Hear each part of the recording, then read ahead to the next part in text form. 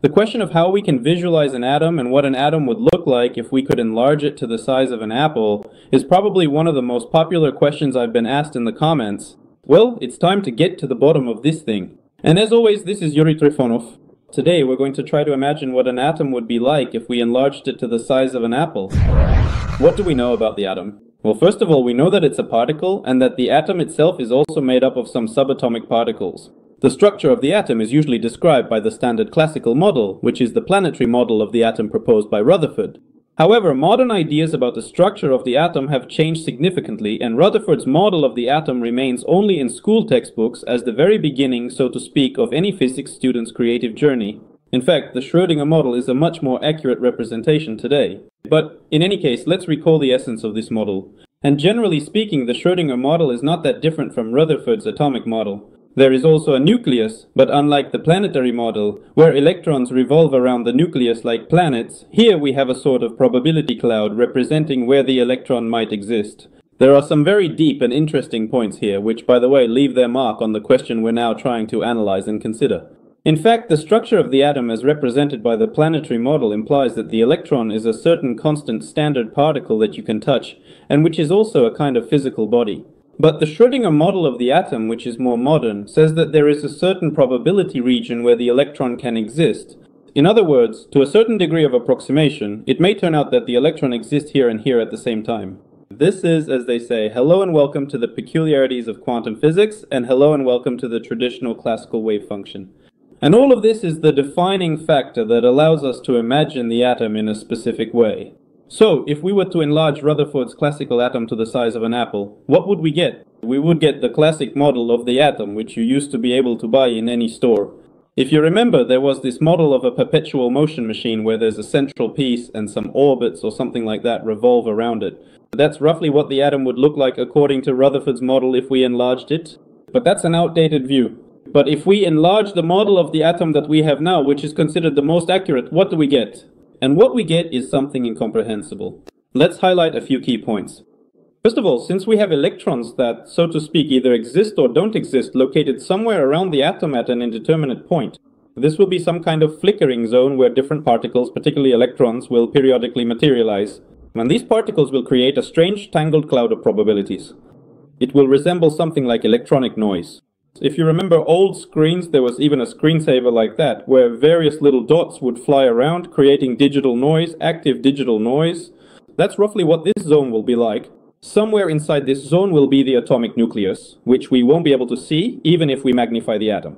And with all that, it's not clear how to visualize any of this, because in fact we're dealing with some kind of strange cloud that has neither a definite size nor shape, and everything exists within certain probabilistic characteristics. The size will be probabilistic and it could be this or that within a certain range. Its appearance will be blurry, resembling digital noise. And as for the inside of the atom, we won't be able to see it at all. Moreover, there's a high probability that light can't fully interact with the particles we're considering. So, in fact, we might not be able to see the atom in the way we want to see it. Therefore, magnifying the atom to a certain size won't get us anywhere. Next point, if each particle is located at a certain distance from one another, regardless of whether the particle changes its position and is fixed or probabilistically located, there is always some distance between the particles. This distance is determined by a number of parameters, which aren't important for us to discuss right now. But one way or another, these little electrons and the outer particles that surround the atom are also positioned at certain distances from each other, and in fact, it will look like a kind of bubbling foam, like digital noise, where these spikes that represent the appearance of subatomic particles, specifically electrons, will behave in this strange way. Alright, so what we get is something like a tangle, with no shape, no size, something unclear. You can't touch it. And here comes the question about touching. Another popular question that often comes up in the comments under videos about atoms and atomic structure is, what would an atom feel like to the touch if it were large? For some reason, a lot of people are interested in how we can touch matter if essentially it consists of empty space. Here, I'll give a characteristic description that I've mentioned more than once in my articles, which we've discussed together several times. In fact, yes, any matter essentially consists mostly of empty space, on the one hand. On the other hand, there's nothing particularly special about that. The simplest way to imagine this is to take two magnets and try to bring their like poles together. Obviously, they will start to repel each other, this repulsion will be felt quite objectively, quite tangibly.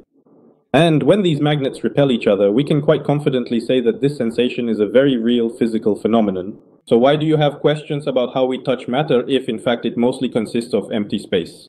Well, not completely, of course, but let's say it's about 80% empty space. Our particles, subatomic particles, and even deeper levels, so to speak, arrange themselves into certain structures. Whether that's a probability distribution or something else, it doesn't really matter. What matters is that they interact with each other and repel one another.